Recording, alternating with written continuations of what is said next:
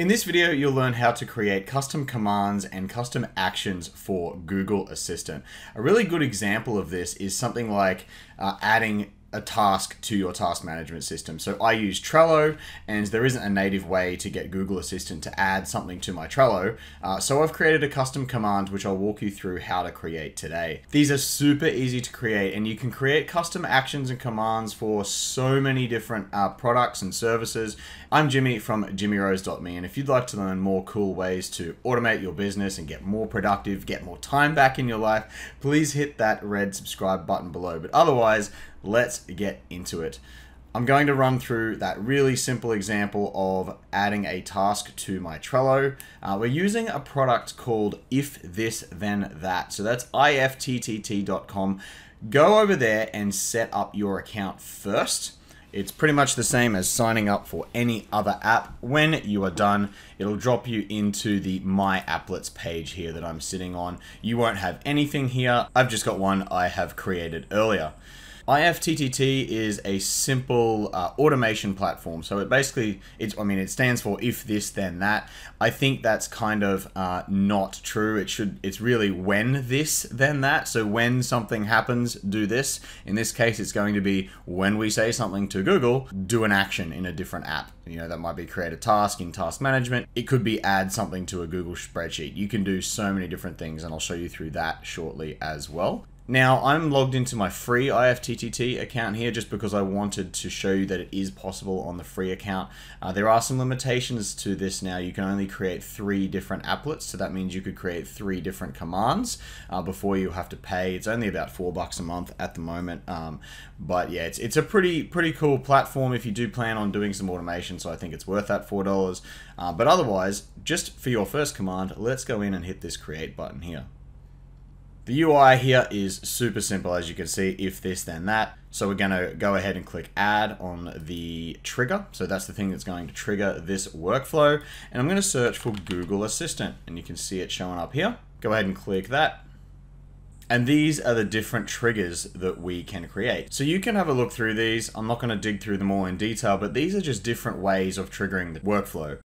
So a simple phrase simply means that there's no input within the command, right? So if I wanted to say something like turn on all my lights, there isn't really a an input there. But if I wanted to say turn on the lights in the living room or turn on the lights in the bedroom, the room is going to change each time. So that means we would need to use a phrase with a text ingredient. Likewise, I could do something like uh, Google, please check in with my team and it might send a canned good morning message just to say I've started work for the day. That would only need a simple phrase trigger because there isn't anything specific in that command. But if I wanted to say something specific, like uh, tell the team that I'm going out for lunch, and I want it to take specifically, I am going out for lunch, and put that into my Slack channel, then again, I would also use say a phrase with a text ingredient. So in this case, we're going to use this because if I want to add a task to my Trello, I obviously want to say what the name of the task is. So I'm going to go with a text ingredient. It'll prompt you to connect to your Google account, so just go ahead and do that. And as soon as you've authenticated, it will drop you back here. And the first box here is what do you want to say? And this is where you type in exactly what you want to say to your Google Assistant. So you're going to say something like, okay, Google, add pick up the milk to my Trello. You don't need to type the OK Google part into this. So instead, what I'm going to do is say add dollar to my Trello. And you can see here it says add a dollar where you'll say the text ingredient. So this is where it's going to listen for what you're saying and then we can use this in the action. And maybe you've got a few different ways of saying the same thing. Like maybe sometimes I say to my tasks. So what if I say add dollar to my tasks? I still want this workflow to work. And you can create a few different options, uh, but I'm just going to go with those two. Now you create the reply that Google comes up with. So I'm going to say, okay, adding dollar to your, your Trello. So it'll actually repeat what I said, just so I can make sure it said the right thing and it heard me correctly. And then we create the trigger. Then that. So I'm going to go ahead and find Trello. Now I've already authenticated, so it's not asking me to connect. I'm going to create a card, which is the same as a task in Trello. Now this part is going to be different depending on what action you're creating. So I'm just going to quickly set this up for me and I'll show you what it looks like. Now the title of the task is where we want to map in uh, that value. So it was dollar in the trigger, the dollar sign, but it's actually not what you use here. You have to click add ingredient and then go text field. So that's what it'll look like. Uh, you know, if you wanted to say this was added by um, Google Assistant, you could write that in there uh, as the description. You could put it in the title. It's totally up to you, but this text field is just going to be whatever you said where you put that dollar sign. So you could add more things to the end of the title, to the start. It doesn't matter. Totally up to you. But in this case, I literally just want whatever I said to be added as a task. I don't care about assigning uh, myself or any labels. I'm just going to delete everything and go create action. And then it brings us back to this page so you can see the summary. So if we say a phrase with a text ingredient, then we're going to create that card in Trello and continue. So I'm just going to finish and then do a quick demo for you. So you can see we're on here, it's, it's connected, so that should be running. I'm just going to open my Trello board so let's uh, let's see how this goes. Okay, Google. Add get the milk to my Trello.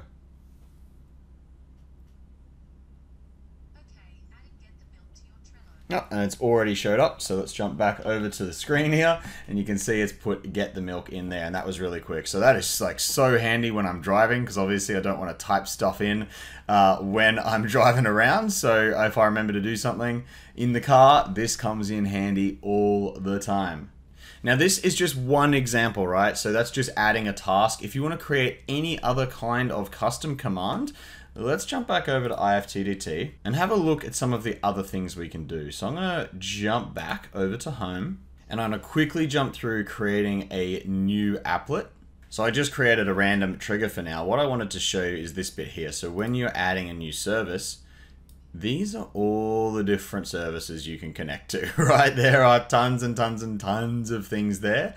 Um, you, you may want to go to ifttt.com slash services as a way to have a look at what different apps you can connect to. It's a little bit easier to browse just because there are categories. So, you know, this first section here are appliances. So, you know, if you're looking to business stuff, you're probably not going to care. We've got blinds, blogging. So you can look, see we've got uh, WordPress and a few things there some business tools like Buffer and Airtable. If you want to add things to Airtable, um, you could do that with a voice command keep going down, we've got cloud storage. So you could, you know, create a Google document. You could put something in a Google spreadsheet, add a new row, you know, so just have a look through here. There's the Slack, so you could write a Slack message.